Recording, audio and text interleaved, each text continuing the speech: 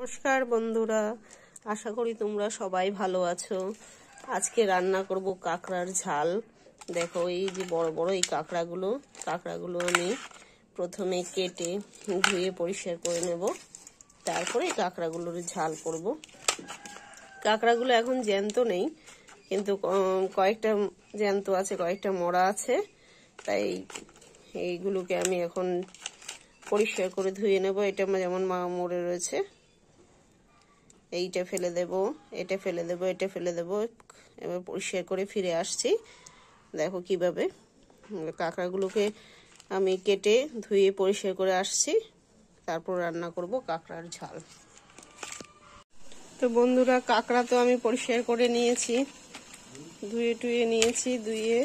এবার কাঁকড়া ঝাল করতে কাঁকড়াগুলোকে আমি এইখানে গরম জল করছি। গরম জলটাতে কাঁকড়াগুলোকে দিয়ে দেব। সিদ্ধ করে নেব। সিদ্ধ করে এর শ্বাসটা বের করে নেব। বের করে তারপরেই কাঁকড়া ঝাল করব। এই, সঙ্গে দিয়ে দেব অল্প লবণ। এক চামচের মতন লবণ আর অল্প হলুদ গুঁড়ো।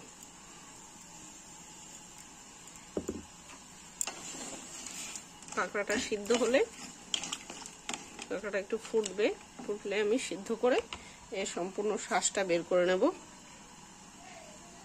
আর যেভাবে যেভাবে করব, দেখো। তো দেখো বন্ধুরা, আমার কাঁকড়াটা কিন্তু ফুটে গেছে। এবার আমি নামিয়ে নেব। নামিয়ে এর সম্পূর্ণ শ্বাসগুলো বের করে এই ছোবাগুলো ফেলে দেবো। এই কাঁকড়ার এই রেসিপিটা কিন্তু খেতে খুবই টেস্ট লাগে। পেঁয়াজ দিয়ে, পেঁয়াজ টিয়াজ দিয়ে ঝাল যখন করবে গরম ভাতের সঙ্গে, যা সুন্দর লাগে না, যা খেতে টেস্ট লাগে না, সে না খেলে আপনারা বুঝবেন না। অবশ্যই বাড়িতে তৈরি করবেন। চলুন আগে পর্যন্ত দেখি কি দেখেন দেখে নিন যে কীভাবে আমি আমার স্টাইলে এই কাঁকড়ার ঝালটা বানাই। তো আমার এটা এটা তো সিদ্ধ হয়ে গেছে, সেদ্ধ করে নিয়েছি, এবার গ্যাসটা অফ করে দেব। একটু ঠান্ডা হওয়া পর্যন্ত অপেক্ষা করব। তারপরে আমি এর সম্পূর্ণ শ্বাসটা বের করে দেখাচ্ছি। সেদ্ধ করা কাঁকড়াগুলো তো আমার ঠান্ডা হয়ে গেছে। এবার এগুলোকে আমি একটা থালায় তুলে নেব।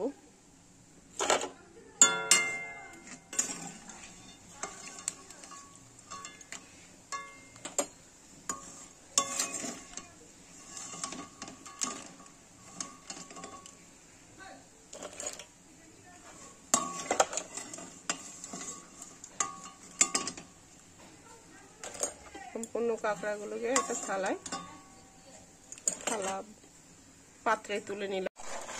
দেখো বন্ধুরা, কাঁকড়া এবার কুসুমগুলোকে আমি শ্বাসটাকে বের করে নেব এভাবে ভেঙে আঙুল দিয়ে চেপে চেপে।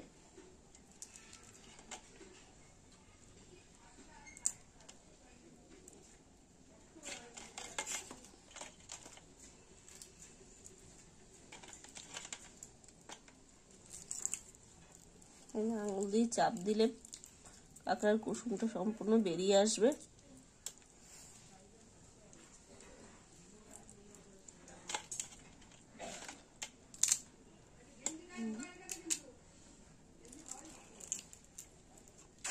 কাঁকড়ার কই খাওয়ার সময় এর ইগুলো চাবাতে অসুবিধা হবে না। বাচ্চা বুড়ো সকলেরই ভালো লাগবে। আর ঠ্যাংগুলোকে এইভাবে যদি, হাতে যদি না হয়, তাহলে এই নোড়াটা দিয়ে হালকা চাপ দিয়ে চাপ দিয়ে শ্বাসটা বের করে নিতে হবে।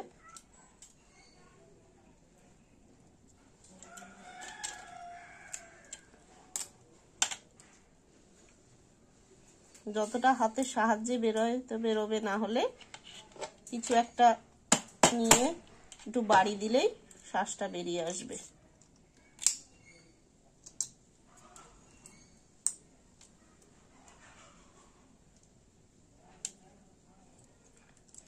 এগুলো ফেলে দেব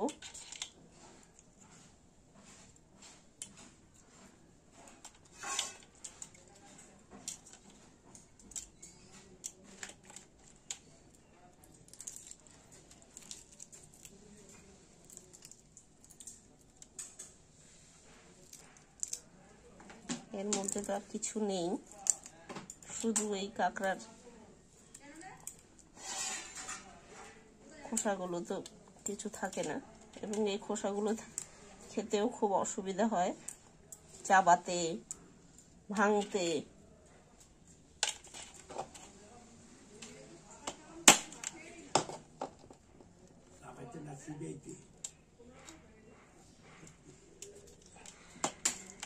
এভাবে সম্পূর্ণ কাঁকড়াটা আমি শ্বাস নিয়ে ফিরে আসছি।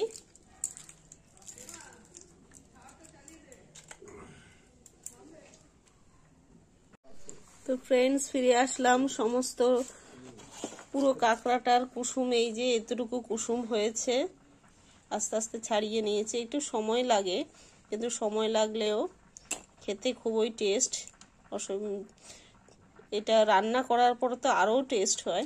আর এইগুলো এগুলোকে আমি ফেলে দেব। চলো, সঙ্গে আর যা যা দেব দেখাচ্ছি। ঝাল করার জন্য আমার কড়াই গরম হয়ে গেছে। এবার দিয়ে দিলাম পরিমাণ মতন সরষের তেল। তেলটা গরম হোক আর ঝালের সঙ্গে যা যা দেব। আমি ছোট ছোট তিনখানা পেঁয়াজ কুচি করে নিয়েছি দুই থেকে তিন কোয়া রসুন কুচি ধনে পাতা দুটো কাঁচা লঙ্কা আর এই পেঁয়াজ পাতা। স্প্রিং অনিয়ন পেঁয়াজ পাতা। তেলটা আমার গরম হয়ে গেছে। দিয়ে দেব অল্প পরিমাণে। তেলের তেল গরম হয়ে গেছে, দিয়ে দিলাম পেঁয়াজগুলো, পেঁয়াজ কুচো।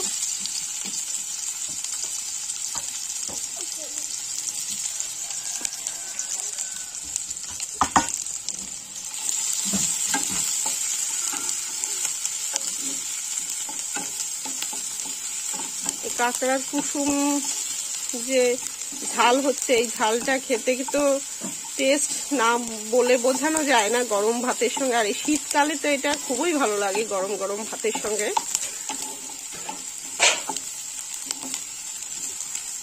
আর বাচ্চারা পছন্দ করবে কারণ কাঁকড়া আমি তো ঝালটা পরিমাণ মতন অল্প দিচ্ছি, সঙ্গে শ্বাস বের করা, ছাড়ানোর অসুবিধে যা একটু সময় লাগে ছাড়াতেই। পেঁয়াজটা ব্রাউন কালার হয়ে গেছে এবং ভাজা ভাজা হয়ে গেছে। দিয়ে দেবো রসুন, কুচনো রসুনটা।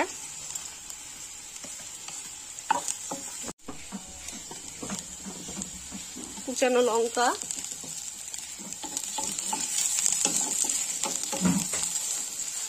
এবার দিয়ে দেবো স্প্রিং অনিয়নটা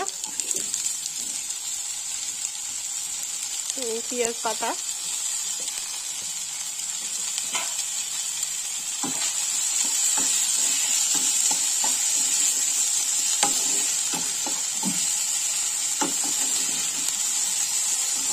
সবগুলো ভাজা ভাজা হয়ে যায় তারপরে কাঁকড়ার কুসুমটা দেব। গ্যাসটা মিডিয়াম ফ্লেমে থাকবে।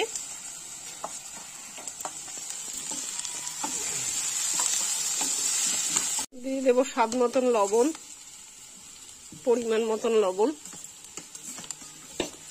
অল্প পরিমাণ হলুদ গুঁড়ো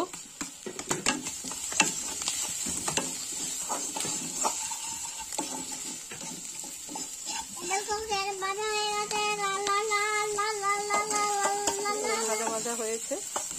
এবার মেন ইনগ্রিডিয়েন্টস যা মূল উপাদান, কাঁকড়ার কুসুম। কাঁকড়ার কুসুমটা দিয়ে দিলাম। গ্যাসটা একটু হাই ফ্লেমে দিয়েছি, জলটা শুকানোর জন্য।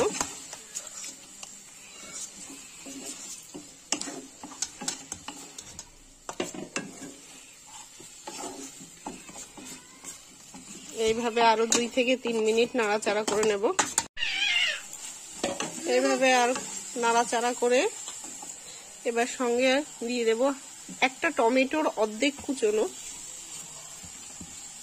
টমেটোটা অপশনাল চাইলে দিতেও পারেন না দিতে পারেন আর লঙ্কার গুঁড়ো, অল্প দেব লঙ্কার গুঁড়ো। অল্প একটু লঙ্কার গুঁড়ো দিলাম। এইভাবে আর অল্প খানিক নাড়াচাড়া করে নিই।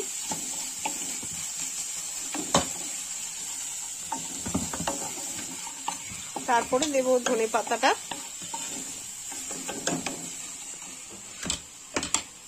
বাড়িয়ে দিলাম গ্যাসটা।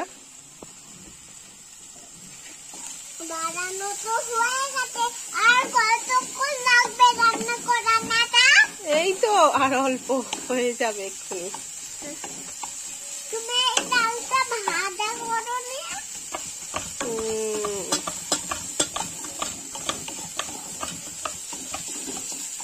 ডালটা সিদ্ধ করো নি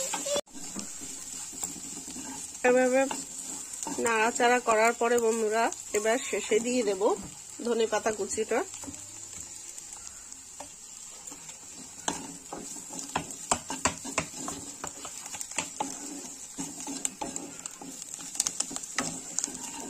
এখানে একটু সাইডে লেগে যাচ্ছে অসুবিধা নেই, এটা তো লেগেই যাবে। শুকনো শুকনো যেহেতু এতে কোনো রকমের জল ইউজ করছি না।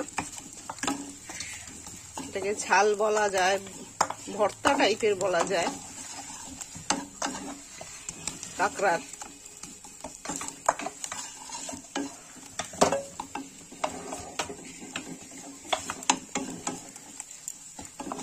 আমার হয়ে গেছে।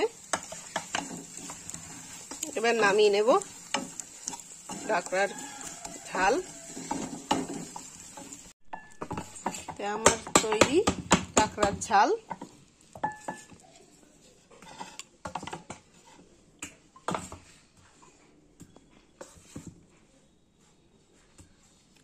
বাড়িতে বানান বানিয়ে কেমন লাগল জানাবেন কমেন্টসে।